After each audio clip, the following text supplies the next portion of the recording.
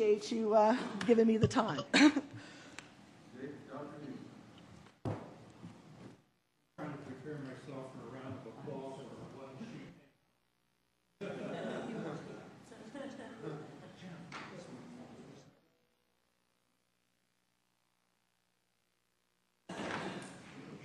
I'm Dick Huber. I'm a retired physician. I volunteer giving drug presentations in school for much of my time. And I'm presenting this from a viewpoint of the youth. And please remember, there's a difference between a, an adult brain on drugs and a youth brain on drugs.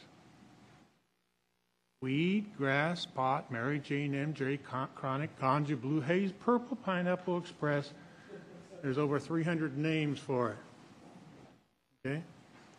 If you're following on the outline, the next one is gateway drugs. Marijuana, tobacco, and alcohol are the three leading gateway drugs. It's anticipated in a few years that prescription medicines will probably be one of the top three.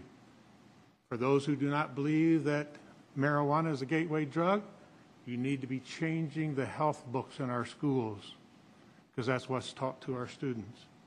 Often opens a door to other drugs. 19% of high school seniors use marijuana on a monthly basis. Please remember this. A teenage marijuana user is 16 times more likely to use cocaine than a non-marijuana teenager. It's often smoked in a joint. Another popular form is a blunt.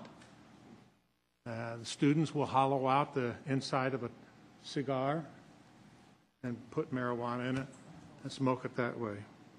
There are over 400 chemicals. Marijuana has more carcinogenic hydrocarbons than tobacco smoke. You see the three properties that it has. It impairs memory, coordination, and concentration. There are two kinds of addiction.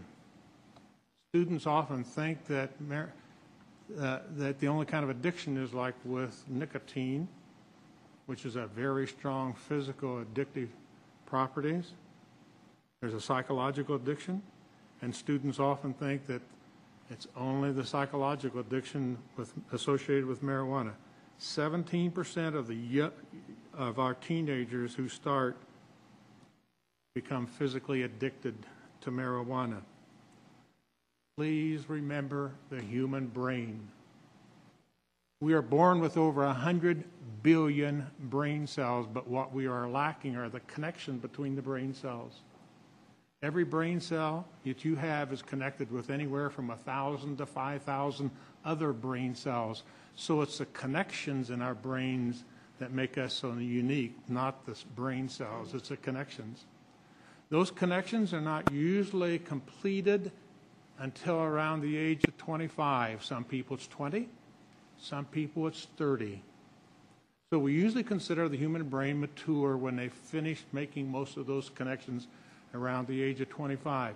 When this is explained to students, all of a sudden they realize, oh, there's a reason why alcohol is not legal until, until 21. Then guess what the next question is? Why isn't the legal age 25? How do you explain that to a student? So please don't get locked in on the age of 21.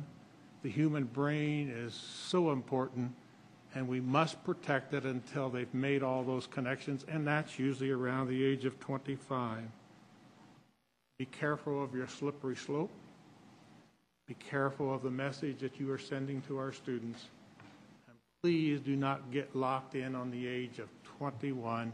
Think of the human brain as maturing around the age of 25. And thank you very much. I'm still waiting for the applause for the one.